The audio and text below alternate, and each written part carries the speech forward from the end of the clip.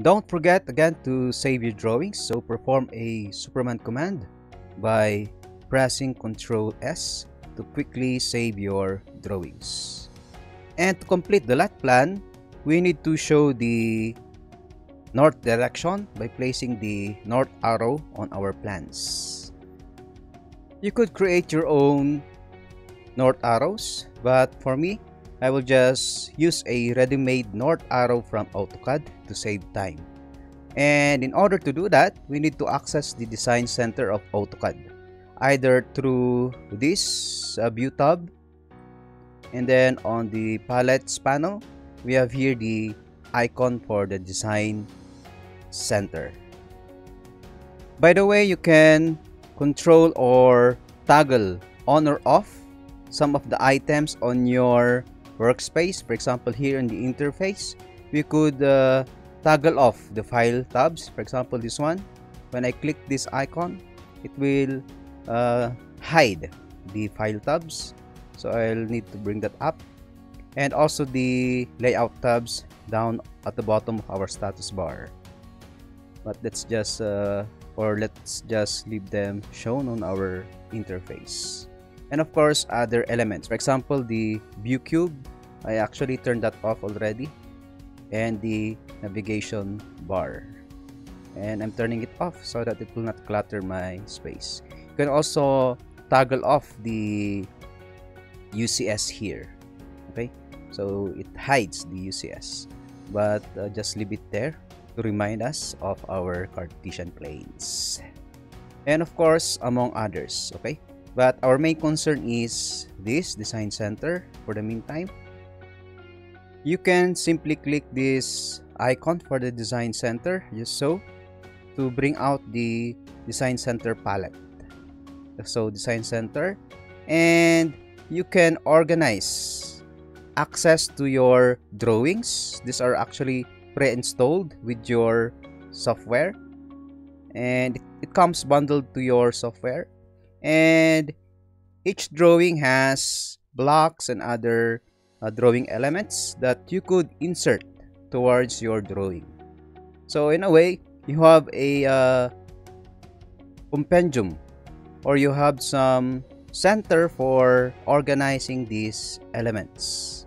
So we could insert blocks, other elements, for example, including layers, dimension styles, even text styles, including other elements. But what we need for now is on blocks. Okay, so on blocks under landscaping, we have here the north arrow.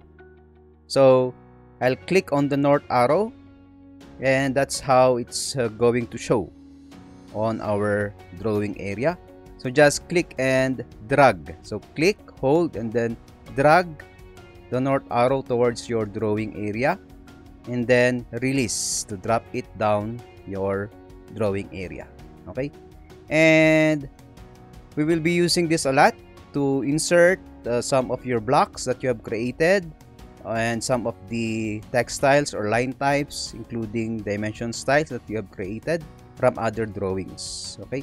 So this is a very useful tool for us. So for now let's just close it.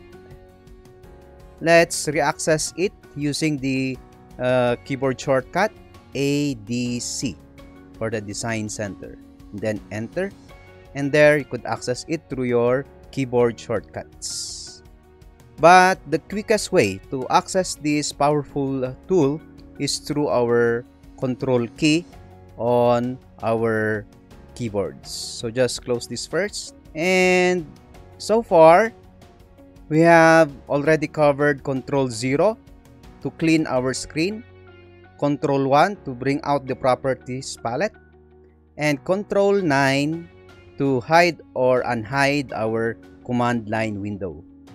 And now, our concern is on Design Center palette. So we could access that by simply pressing Control and 2. Okay?